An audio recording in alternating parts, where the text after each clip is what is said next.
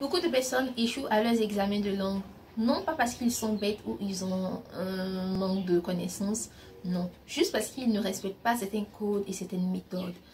Dans cette vidéo, je vais vous montrer 5 étapes super super intéressantes pour pouvoir échouer votre examen. Donc si vous voulez échouer votre examen, continuez de rester dans ces étapes-là, continuez de faire ce que vous êtes en train de faire là.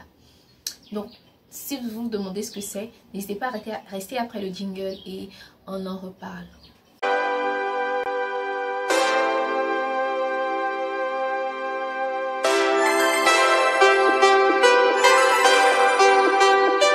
Salut les amis, si vous allez bien, moi ça va. Alors, euh, bienvenue de retour dans cette vidéo.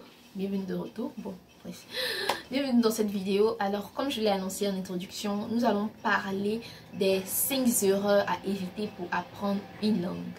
Des 5 erreurs à éviter quand vous passez votre examen de langue. Tout ça, ça va de soi.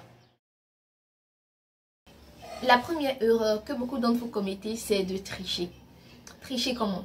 C'est le fait de se dire que Hum, oui, je connais déjà, j'ai assez de connaissances, donc elles ne forcent plus. Elles se disent que oui, vu que j'ai de bonnes notes en classe, par exemple, s'ils font des, devoirs et tout, euh, je ne force plus, je, me blague, voilà, se blaguer. Elles se blaguent, elles pensent qu'elles connaissent déjà tout. Oh non, c'est pas le cas.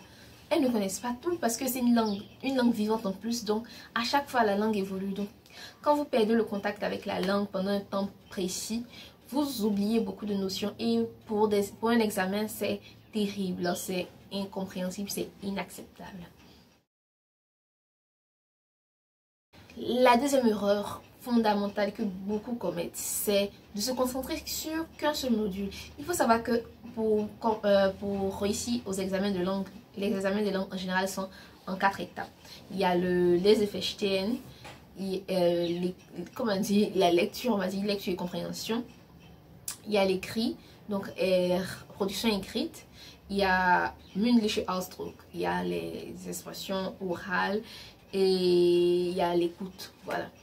Donc, euh, Quand on a ces étapes-là comme ça, et que vous vous concentrez seulement sur le sprechen, donc mündliche Ausdruck, expression orale, les autres, c'est sûr que vous allez rater parce que vous avez investi plus de temps dans une seule tâche. En général, ce que je conseille, hum, c'est de vraiment, vraiment vous concentrer sur toutes les quatre tâches, les quatre éléments que vous devez apprendre. Comment est-ce que vous devez faire? Parce qu'en général, il y a des, des most, des, des, solutions plus ou moins des différents examens là sur le net. Donc, vous pouvez regarder euh, tel que c'est Heinz, euh, Hochschule, et puis vous, commencez à regarder comment est-ce que ça se passe, comment est-ce que l'écrit est, comment est-ce que l'oral est, etc., Parce que si vous ne vous préparez pas en fonction des quatre modules, vous allez forcément avoir plus de points dans un seul. Et c'est ce qui est normal.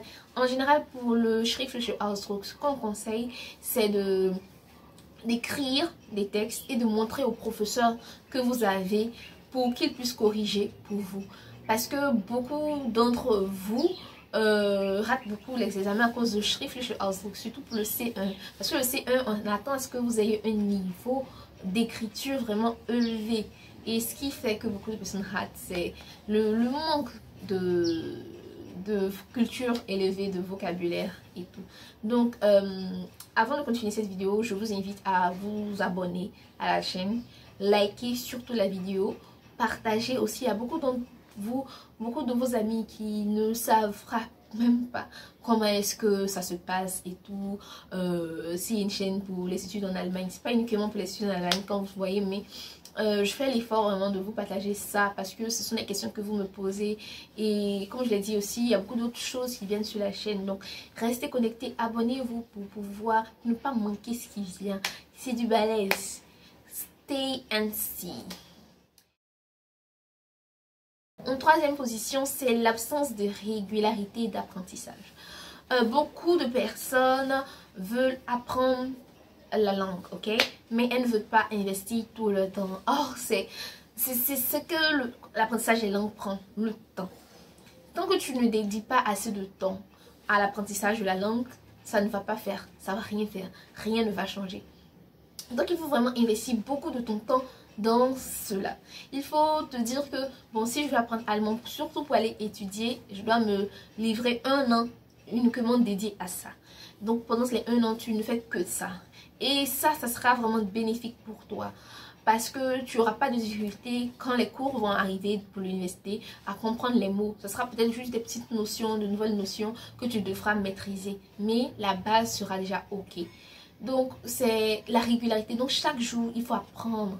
En général, quand je fais les coachings, je conseille aux gens euh, d'avoir, d'apprendre 5 nouveaux mots par jour. Ça dépend en général de la personne que j'ai en face de moi, mais je donne ce conseil global.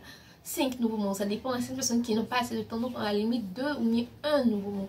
Donc, vraiment, euh, concentrez-vous sur cette partie-là, la langue. Parce que beaucoup de personnes ne comprennent pas que c'est un facteur super important pour l'obtention de leur visa, de leur diplôme surtout. Parce que on ne va pas à l'étranger pour jouer, non.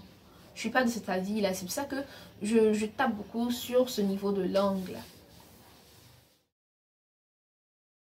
En quatrième position, c'est le manque de rigueur. Donc ça va un peu de soi avec le, troisième point. Le monde, euh, se dire que oui, en mode laxiste, parce que bon, euh, vu que j'ai eu le, bac ou bien la licence, je veux aller à l'étranger. Donc vu que la France est un peu saturée, je choisis l'Allemagne. Mhm. Et essayer de, de bâcler un peu, ne pas faire assez d'efforts pour pouvoir bien apprendre la langue. Et arriver devant au C1, ça bloque. Et effectivement, ça arrive à beaucoup. Donc, si vous bâclez déjà, si votre base est pourrie, vous allez forcément échouer facilement aux examens. Donc, la rigueur de cette constance d'apprentissage, c'est ce qui va vous aider. Sincèrement, si vous êtes travailleur, ça va aller. Mais si vous n'êtes pas travailleur, ce sont des, des aptitudes qu'on acquiert facilement avec assez de volonté. Donc, avant d'arriver au dernier point, je vous invite à apprendre Metopo, kit de langue. Pour ceux qui ne savent pas encore que ça existe, Metopo, kit de langue, qu'est-ce que c'est? Metopo kit de langue, euh, ça c'est le kit usuel, bon kit de langue. Euh, lui, il est constitué de livrets, ce livret-là, de crayons, de carnets, de vocabulaire. En plus de ça, on a une séance de coaching avec laquelle je vous aide à établir un plan stratégique pour pouvoir apprendre la langue souhaitée que vous aimez apprendre. Donc ce, ce, ce kit-là, il est comme un gant, il passe avec toutes les langues parce que ce sont des techniques qu'on applique pour pouvoir apprendre toutes les langues. Euh, aussi, c'est ça. Donc, si vous voulez commander cela, n'hésitez pas à contacter ici le 05 76 68 86 78 et aussi de vous écrire par mail euh, Également, il y a le salon de coiffure et salon. Pour ceux qui sont à Abidjan, euh, il y a le salon de coiffure et salon qui existe pour entretenir vos cheveux, euh, faire des tresses, faire des soins de visage. Donc c'est un salon de beauté en général pour pouvoir permettre à la jeune dame de s'assumer telle qu'elle est avec autant de fierté et autant de charme, vous voyez, et d'élégance. Donc euh, n'hésitez pas à passer au salon. Euh, les tarifs sont vraiment très bien. Euh, si vous avez plus de besoin de renseignements, contactez le même numéro parce que c'est le même service client. Et aussi, petite sonnette d'alarme, ceux qui s'amusent à écrire au numéro juste parce qu'ils veulent discuter avec moi. Hmm, discuter avec moi sur Instagram. Parce qu'Instagram, c'est moi qui gère. Euh, le 05, c'est pas moi seulement qui gère. Donc, ça, c'est pour le service client. Là-bas, c'est juste pour les commandes. Donc, n'hésitez pas, si vous voulez discuter avec moi, poser des questions concernant l'Allemagne et tout, contactez-moi sur Instagram. Voilà, ça, c'est plus sûr de, de ma voix directement. Donc, on va arriver au cinquième point. Le cinquième point, la cinquième chose à faire, c'est ce qui est le plus vital. Hein. C'est ce qu'il faudrait vraiment, vraiment intégrer. C'est l'objectif. Pourquoi est-ce que vous voulez aller en, Allemagne? Pourquoi est-ce que vous voulez vous fracasser la tête pour apprendre une langue comme ça?